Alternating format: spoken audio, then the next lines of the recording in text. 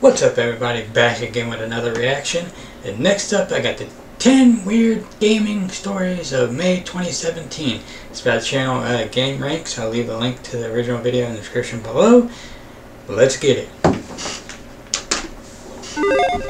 Every month, Gameranx puts together a list of the weirdest stories that happened over the last 30 days. I'm Falcon, and today on Gameranx, the top 10 weird gaming stories of May 2017.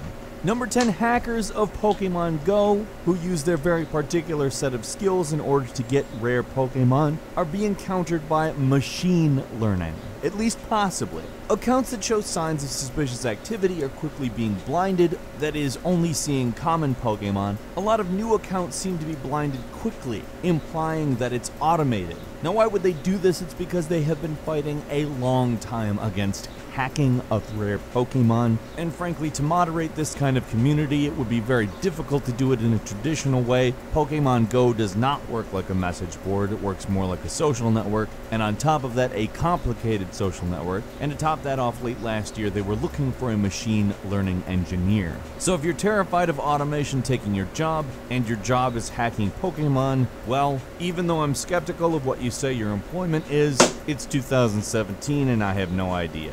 Anyway, it's happening. Number 9, and because it's getting warmer all around the world, all the stories are going to have to do with Pokemon Go because people are walking around and playing it nowadays. But now, well, things are going down in Russia. A Russian YouTuber by the name of Ruslan Sokolovsky made a video of playing Pokemon Go inside a church and got arrested for inciting religious hatred.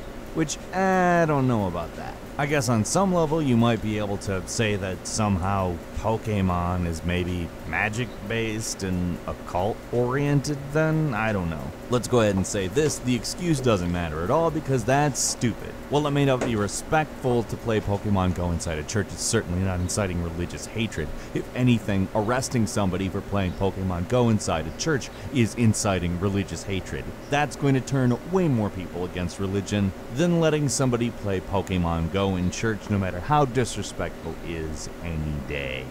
Number 8, a blind Japanese child sent a letter to Nintendo. It was very, very, very good natured, as only a young child could put forward. You see, he has trouble playing games because he's blind, and the only ones he can really play are the Rhythm Tengoku games. He wrote Nintendo to thank them for it and to ask them to make more of them, to which Nintendo promptly, and I mean promptly, it took them eight days to send a letter back to him, thanking him so much for the heartwarming letter. They promised him that they would be making more and want to continue making games that can make children like him happy. Number 7, a 25 year old awesome. single mother from the United Kingdom is set to marry a man who lives in Louisiana after they met playing Overwatch. They met in December. He sold all of his stuff, including his PS4 and Overwatch, in order to fly over to the United Kingdom. And while hanging out, he's like, you know what? Let's get married. And she was like, you know what? Yes. And it's entirely lovely, though I don't know that I would move that fast personally. It could be a setup for something bad, but it also could be a setup for something very,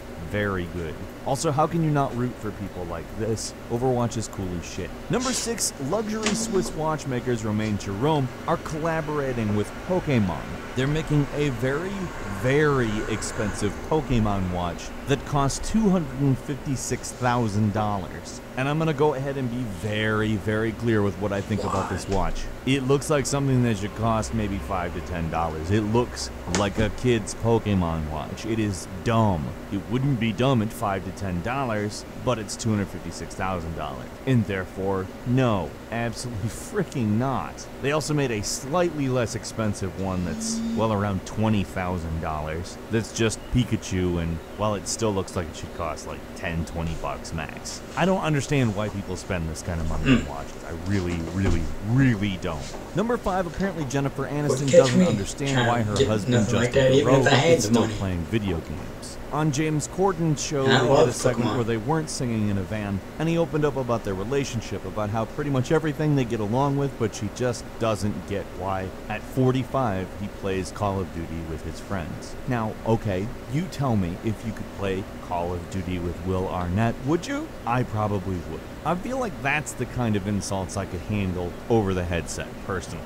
I mean, she's fine with it. She doesn't not try to play with him, but she's obviously not into it in the way that he is. Still, it's interesting that this is where we are now with celebrities. Number four, new research shows that if senior citizens play video games, they are less likely to get dementia. Games were shown to have increased brain activity that actually worked on such a level it was considered to be better for them than regular exercise, such as brisk walks. As it That's turns awesome. out, doing things that require you to exercise your brain keeps your brain sharp and working right. There's a shock, huh? Uh, video games will rot your brain. Turns out they do the exact freaking opposite. It's actually video games help That- promote healthy aging right of the brain. the reason I'll why tell you what's weird about this story. never that no one will listen video to it. games. Zero people will give a crap that this research came out. Until I Parents can't are still move gonna my be like, fingers, Yeah, this is a waste you of know, your time. I will be Uh, playing video no, games. Mom, I don't want dementia. Why do you want me to get dementia? Number three, a man born without eyeballs was featured in a documentary called Gaming Through New Eyes that showed him playing fighting games, listening to audio cues. Games like Injustice, for instance, are absolutely full of audio cues, and he's actually able to be pretty good at it. He also really enjoys story oriented games like Final Fantasy, which he plays with the help of friends who read the dialogue to him and walk him through the menus. He even plays first person shooters. I mean, in all seriousness, this is freaking awesome. This guy will not be deterred. He wants to play video games. And who can blame a guy for wanting to have a good time? Number two, Indiana Tech College is offering scholarships to play video games on their new varsity video game team, specifically to play League of Legends and Hearthstone.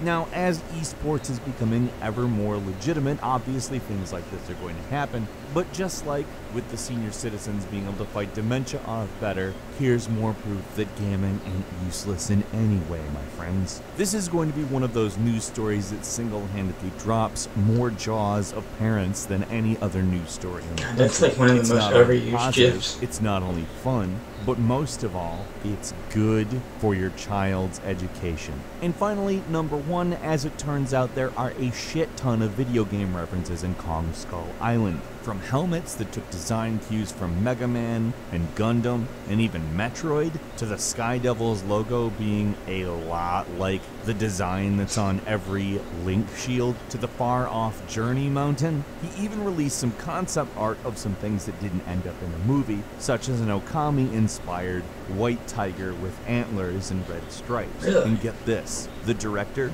Jordan Vogt-Roberts, has signed on to direct a Metal Gear Solid movie. Now, it's not Wow. definite that it's going to happen, but if it happens, this guy who clearly loves video games is pretty much in charge of it. And if you ask me, that's exciting, because Kong Skull Island was pretty damn good.